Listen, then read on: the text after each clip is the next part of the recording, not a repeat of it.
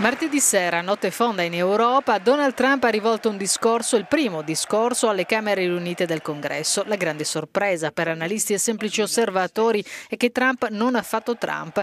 Il presidente ha parlato per un'ora e mezza mostrando per la prima volta dalla sua investitura l'autorevolezza e lo spessore che un presidente deve avere. Qui di seguito i momenti più salienti del discorso.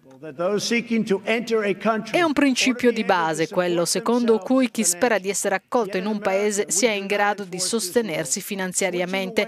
In America questa legge ancora non esiste, cambiando il sistema per cui sostituiamo un'immigrazione senza abilità particolari con una basata su criteri di merito, ne avremo molti benefici.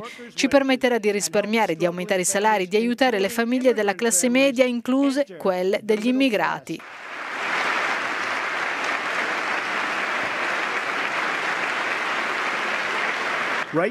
In questo momento le aziende americane sono tra le più tassate al mondo.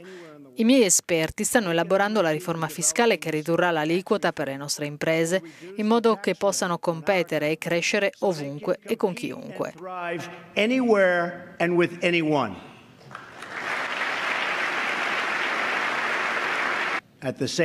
Allo stesso tempo forniremo sgravi fiscali per la classe media. Dobbiamo creare condizioni di parità per le aziende americane e i nostri lavoratori. Dobbiamo farlo.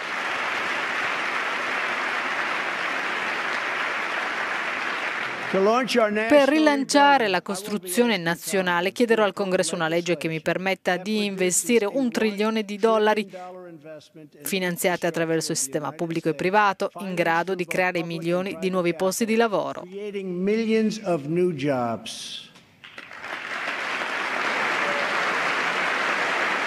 E ancora Stasera chiedo anche al Congresso di ritirare e sostituire l'Obamacare.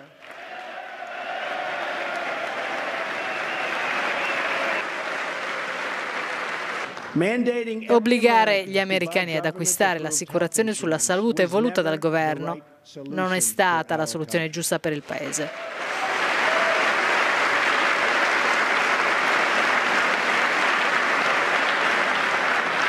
Un modo per rendere l'assicurazione sanitaria alla portata di tutti è quello di ridurre il costo dell'assicurazione stessa.